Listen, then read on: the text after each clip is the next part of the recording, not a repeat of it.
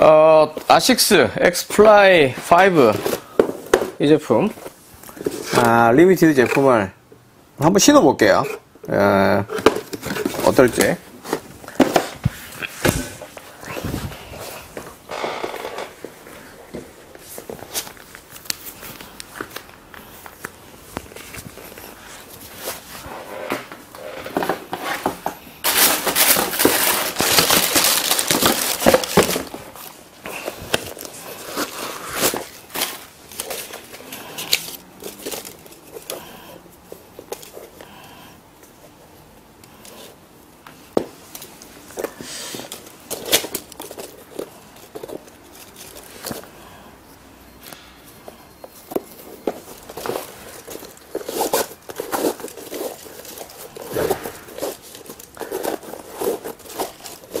미즈노랑 아식스가 다른 게 끈 묶는 방식도 달라요.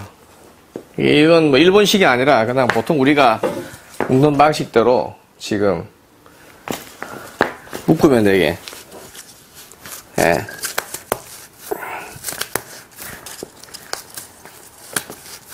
왼쪽부터.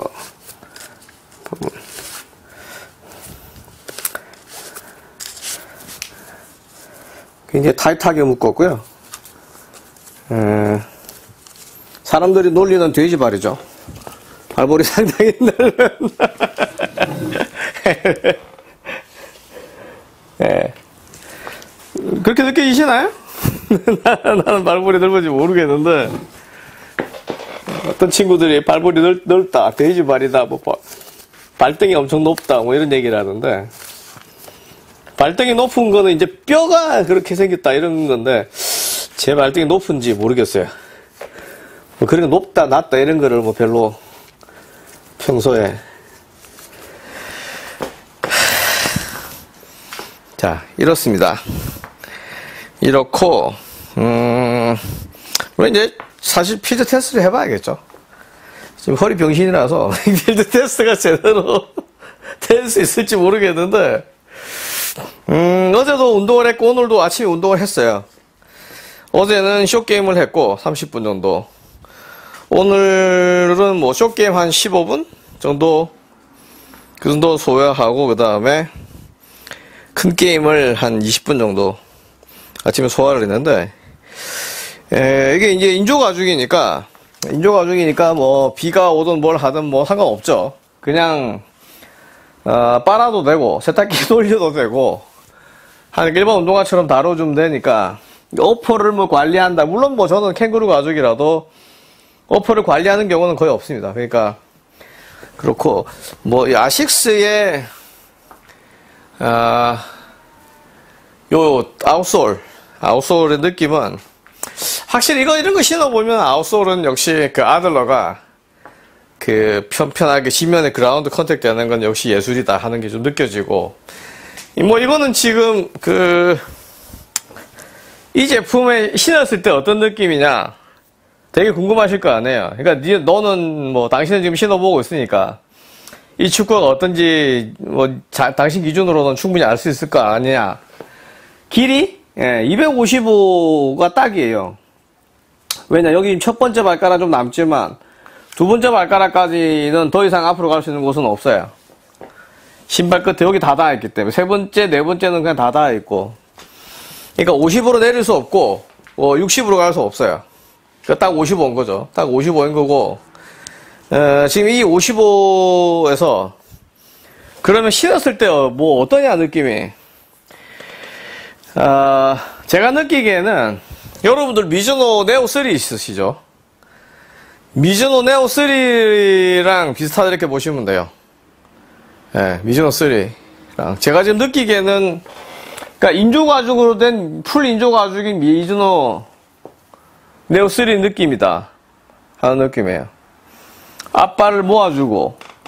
근데 최근에 last가 변경되기 전에 미즈노 네오 2는 아닌 것 같고, 그렇다고 네오 3처럼 아주 넓지는 않은데, 어쨌든 전반적인 착화감은 좀 그런 느낌이다. 특히 뒤쪽에 이 두툼하게 패드 되는 게 확실히 4랑은 좀 다르다. 그런 점은 있고. 그러나 이제 구조적으로 이 부분이 저는 넓은 거를 사실 좋아하지 않는 게 약간 좁게 되어 있는 것들이 이제 벗겨지는 데 있어서 좀 덜 벗겨지는 이런 느낌이 들죠. 오늘 아침에 쿨트라를 또 신었는데 네 번째인가 실착 테스트를 했, 거쳤는데 아, 상당히 좋아요. 상당히 좋은데 이제 한 가지 쿨트라 신다가 느끼는 거는 어쨌든 간에 그, 그 끈을 일곱 개, 일곱 번째 구멍까지 끼우는 게 좀 더 안정적이라는 느낌이 있는 거. 그런 점인데고 지금 이 상태로는 뭐 보면 어퍼든 아니면 뭐 어느 부분이든 어, 다 편하게 신을 수 있을 것 같고 물집의 염려가 뒤쪽에 스웨이드가 두툼하게 처리가 되어 있지만 물집은 안 생길 것 같아요. 어, 내일 또 아침에 신고 또 물, 반전으로 물집이 생기면 또 생길지도 모르겠는데 이 정도 fit감이면 물집이 안 생기지 않을까. 제가 아, 플라이 4, 어, 이런 거 물집 안 생겼거든요. 그 다음, 근데 이제, 그, 아식스 중에 울트레자 1, 1은 이제 물집이 생겼었어요. 한 번에 걸쳐서 많다. 그 이후에 곧바로 이제 모양이 만들어졌기 때문에 그런데, 이거 인조 가죽이고, 지금 여기서 느끼는 인조 가죽은 사실은 뭐 캥거루 가죽이나 이런 거랑 큰 느낌상으로는 비교가 없다. 아침에 쿨트라를 쓰면서도 그런 느낌이었어요.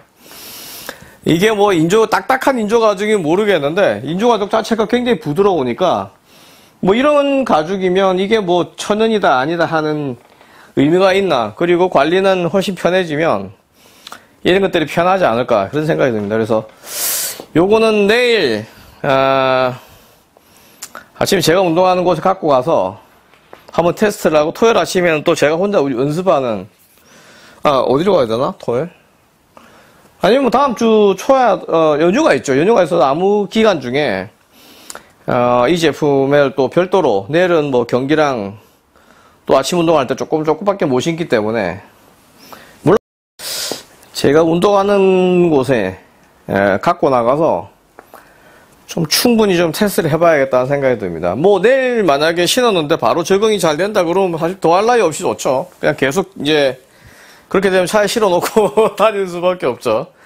예, 차에 실어놓고 다니다가 뭐 인조다 천연이다 가리질 않고 어, 잔디 길이만 좀 괜찮다 구장 환경만 그러면 무조건 이제 어, 꺼내 신을 수 있는 거죠. 요거랑 지금 야마 토쿄 두 개를 계속 저는 아침 운동용으로 지금 사용을 할까 생각 중이에요. 야마토쿄도 전혀 부담 없는 인조 가죽이어서.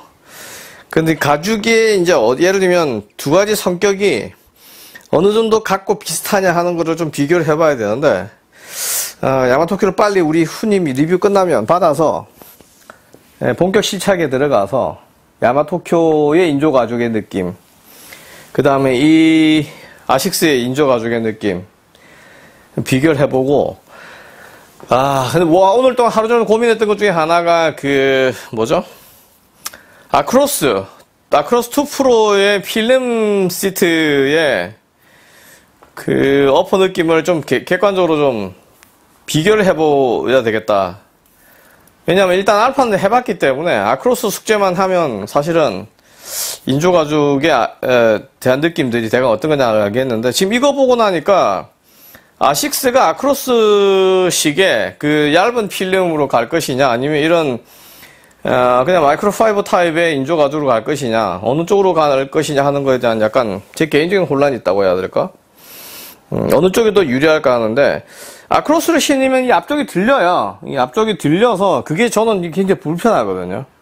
그게 어느 정도 단계에서 적응이 돼서 신기 편해질지 모르겠는데, 일단 축구화를 되게 신으면 앞쪽이 들리면서 발끝에 감각이 좀, 뭐라 그럴까, 자연스럽지가 않으면 잘 못 신는 편이어서, 어, 그 부분이 아크로스에서는 또 어떻게 되느냐 하는 거를 궁금해요. 어차피 지금 나이키나 아디다스는 이제 더 이상 천연 가죽 축가를 내지를 않을 거기 때문에 뭐 푸마의 킹마저도 지금 인조 가죽으로 진행이 된 상황이라고 하면 어, 아시, 미즈노나 아식스도 그 시장을 버리고 갈 수는 없겠죠. 그래서 이 제품뿐만 아니라 이후에 아식스나 뭐 미즈노 이런 이제 브랜드들에서 나오는 또 뭐 추가로 아들러에서 새 모델이 나온다 하더라도 인조 가죽 모델이 나올 것이고 아슬레타도 분명히 나올 거라고 봐야 되기 때문에 뭐 그런 모델들이 향후에 어떤 식으로 나올 것이냐 네, 그런 것들을 좀 우리가 체크를 해봐야 되지 않나 그런 생각이 듭니다. 그래서 이 제품도 리뷰를 하고 실착을 하고 테스트를 해보는 게 상당히 제 개인적으로는 의미 있는 일일 것 같고,